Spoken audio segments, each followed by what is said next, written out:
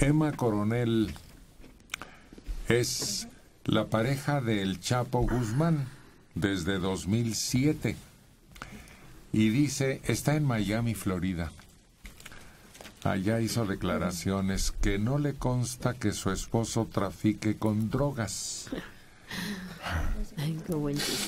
Y afirma que no tiene celos de Kate del Castillo. Esta ex reina de belleza de 26 años, tercera esposa de Guzmán, que actualmente tiene 61 años, rompió su silencio para defender a su esposo que se fugó en 2015 y fue recapturado. En una entrevista con Telemundo, asegura que han tratado de convertir a su pareja en un monstruo se lamenta de las condiciones en que está recluido y responsabiliza al gobierno mexicano de lo que pueda pasarle. Y las declaraciones más llamativas de, de esta entrevista es eso, que no le consta que su marido trafique con drogas.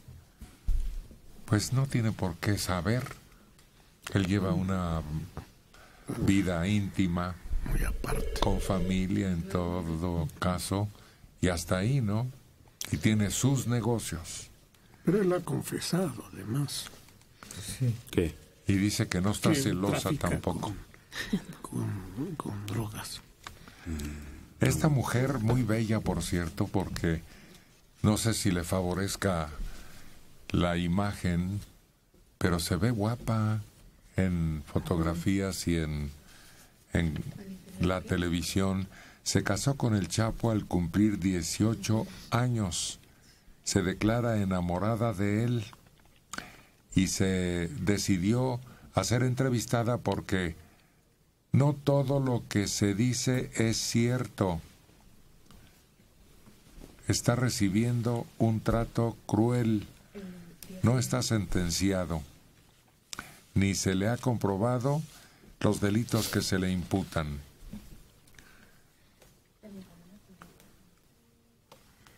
Además, dice, la entrevista con el actor Sean Penn es una traición. Mi esposo jamás autorizó su divulgación y le habían prometido que la grabación solo se iba a utilizar para la redacción de un artículo escrito. Destaca que el encuentro de ambos solo tuvo como fin hablar de la realización de una película sobre la vida del capo. Pues todo está listo. Ya se ha movido suficiente publicidad como para que cuanto antes se elabore y por mala que resulte, va a tener éxito. Claro. Está precedida de bombo y platillo. Atracción total. Morbo, sobre todo. Sí, sí, exacto. Va a ser un golpe de taquilla. ¿Quién irá a ser de Chapo? Pero estas declaraciones pecan de inocente de ingenuidad, absoluto. Yo creo que por eso es reina de belleza porque realmente, eh, digo, y si se casó a los 18 años, por favor, todo el mundo sabemos quién es el Chapo. Claro. que, no le puedas comprobar una cosa específica, pero en general es, no solamente en México. Y luego todas estas lamentaciones de pobre, cómo está eh, sufriendo el Chapo en la cárcel, eh, cómo le están pisoteando sus derechos humanos, le pasan lista 18 veces al día. Perdón, es el enemigo público número uno. Se les ha fugado dos veces.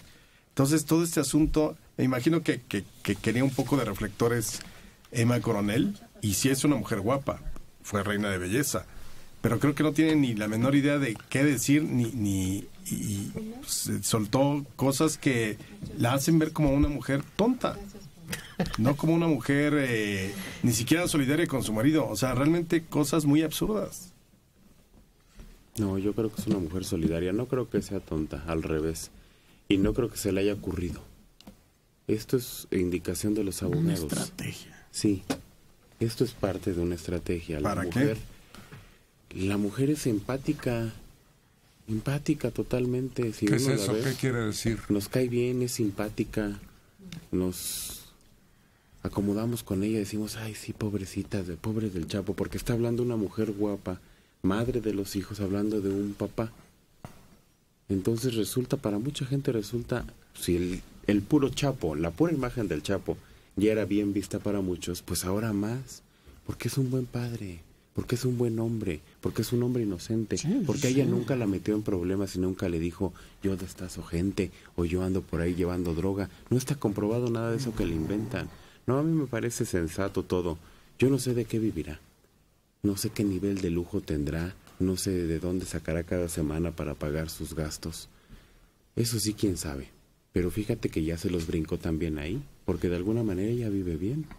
Eh, Y el Chapo, eh, nace uno de sus hijos y él va, está ahí. No, de que es buen padre, es Que buen va- padre. van creciendo los niños y los visita, Más, poniéndose en peligro. Disculpa, Sí. es un mejor padre que 20 millones de mexicanos, Así es. por lo menos. Que ni saben cuándo nace su hijo y ni les interesa y a lo mejor ni vuelven a ver a la mamá y ni siquiera le mandan un centavo. No, no, yo creo que están muy bien las declaraciones y todo es correcto.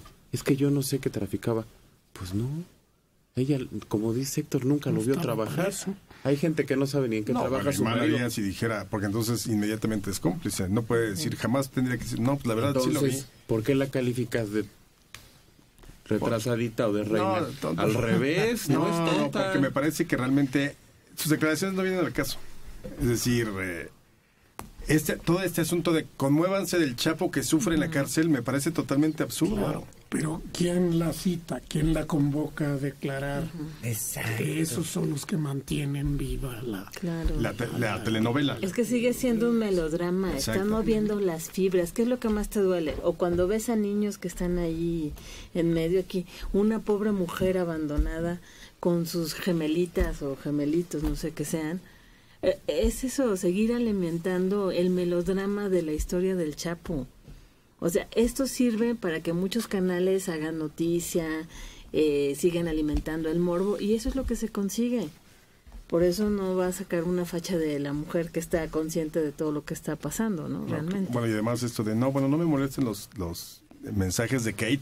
No, Por y favor, no yo, quis- quisiera verla. O sea, cómo le ha de haber ido sí, juntas y, eh, y con él enfrente, porque no he podido verlo eh, como para reclamarle, oye, ¿cómo es eso de que tus ojos... No, pero tú no estás enamorado como ella. La estás acusando, estás acusando a una mujer de cosas. Ni es tonta, ni le falta amor. No, cuidado. Esa es una mujer enamorada. Ahora que lo conozcas vas a ver el amor.